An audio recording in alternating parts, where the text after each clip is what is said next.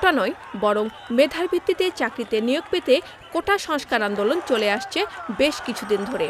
এরই ধারাবাহিকতায় চলা শিক্ষার্থীদের আন্দোলনে পুলিশ বাধা দেয়। কয়েকজনকে গ্রেপ্তার করে মামলাও হয় কয়েকশো জনের বিরুদ্ধে।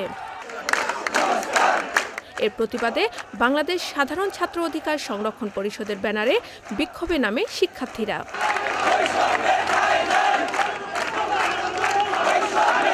কোটা বাতিল নয় কোটা সংস্কারের দাবি তাদের। পুরোপুরি এই কোটাটা বাদ না দিয়ে সংস্থা করে দশ পার্সেন্টে নিয়ে আসার জন্য দাবি জানাচ্ছি মাননীয় প্রধানমন্ত্রীর কাছে এবং দেশের রাষ্ট্রপতির কাছে। কোটা একটা নির্দিষ্ট সময়ের জন্য সৃষ্টি হয়েছিল। যখন সৃষ্টি করা হয়েছে তখন দরকার ছিল। আমি মনে করি এই স্বাধীনতা সাতচল্লিশ বছর পরে কোটার আর দরকার নেই। পৃথিবীর কোনো দেশে মেধার চাইতে কোটার রেশিওটা বেশি নেই। পাঁচ দফা দাবি নিয়ে আমাদের আন্দোলন।